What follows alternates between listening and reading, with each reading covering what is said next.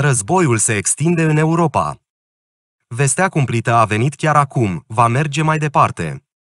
Vladimir Putin nu se va opri doar la Ucraina, dacă va câștiga războiul început la data de 24 februarie, spune un ofițer militar britanic de rang înalt. Pe de altă parte, în cazul în care Rusia va pierde în fața Ucrainei, țara nu va accepta niciodată acest scenariu.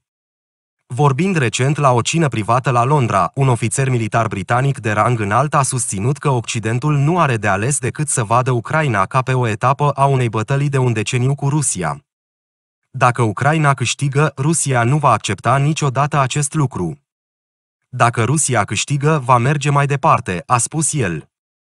Cu toate acestea, cei de la Uitehal se tem de cuvântul cu F, oboseală, fatig în engleză și se tem că Occidentul, cu atenția sa de tip TikTok și tendința de a obține satisfacții imediate, nu are determinarea necesară pentru sacrificiul de ani de zile pentru a învinge Rusia sau chiar pentru a opri valul militar din satele din estul Ucrainei. Această ansietate este împărtășită de Volodymyr Zelensky, președintele ucrainean, care, într-un discurs adresat profesioniștilor din domeniul marketingului la Cannes în această săptămână, i-a rugat să-și folosească ingeniozitatea creativă pentru a menține lumea concentrată asupra luptei țării sale. Nu lăsați lumea să treacă la altceva, a spus el.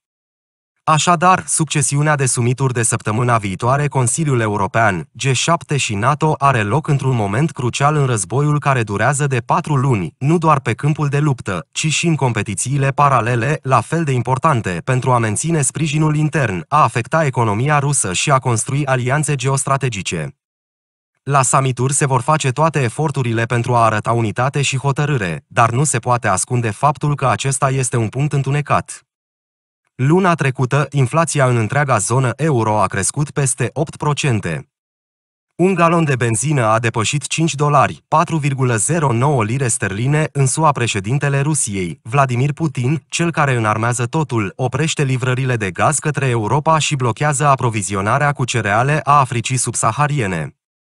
Asistența de securitate acordată de SUA Ucrainei de la începutul invaziei, la 24 februarie, este evaluată la 5,6 miliarde de dolari, dar se estimează că țara are nevoie de 5-7 miliarde de dolari pe lună pentru a funcționa.